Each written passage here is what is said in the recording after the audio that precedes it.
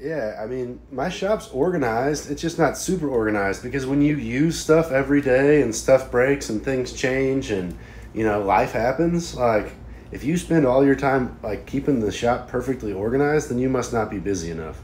Like we don't have time to stop and like keep that shop perfectly clean. And there's definitely not enough space because we don't have enough money to be able to have tons and tons of space. So if you have a lot of space, or if you have a lot of time, then you can have a really clean shop.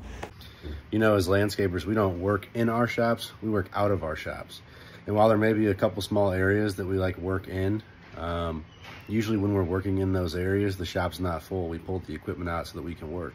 Uh, and I'm sure that's what most guys do because we don't have enough money to have giant shops or, you know, if I could, if I could, I'd have a full-time mechanic. He could be there all day. That could be like his area. He keeps it clean you know, keeps everything fixed, blah, blah, blah. But where's that money coming from? You know what I mean?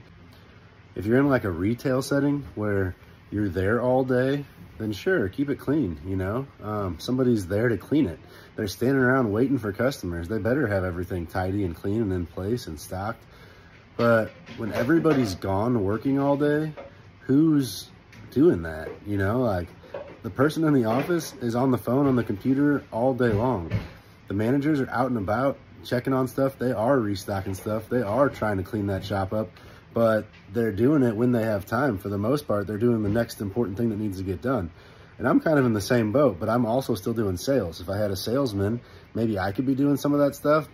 But honestly, I'd probably spend my time doing something else anyways. So I don't know. Having a clean shop, I think, can be overrated. I'm sure there's, you know, having an organized shop is important. But having it like pristine, I, I think that's that's probably not as important as just having it organized. If you can't find the stuff in your shop, then yeah, that's worthless. Um, why have a shop full of stuff if you can't find out where the stuff is? But if you know where everything's at, then who cares if it's like not perfectly stacked in rows or if it's sitting maybe in front of the shelf instead of on the shelf because the guys didn't put it away last night. That stuff doesn't bother me that much. I try not to sweat the little stuff.